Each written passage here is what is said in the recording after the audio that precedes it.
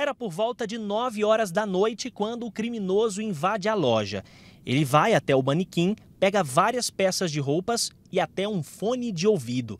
Depois da ação, ele foge, carregando as peças numa sacola. Toda a ação foi registrada por essa câmera de segurança. O prejuízo aqui para a loja foi de cerca de dois mil reais. A situação só não foi pior porque essa porta de aço estava abaixada.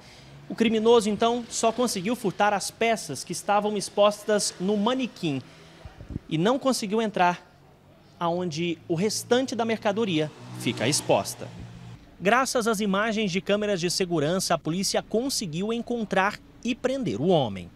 As equipes captaram essas imagens e nós compartilhamos dia após dia, equipe que entra, equipe que sai e as equipes atentas no patrulhamento localizaram o indivíduo com as mesmas características e que já era velho conhecido aqui da, das equipes. Ele já tem passagens pela polícia e estava no regime semiaberto. Neste momento, em virtude da prisão não ter sido em flagrante, ele foi apresentado à autoridade policial, vai responder por esse segundo fato e possivelmente isso aí vai desencadear uma regressão na execução penal dele, em virtude do cometimento de novo crime estando em regime semiaberto.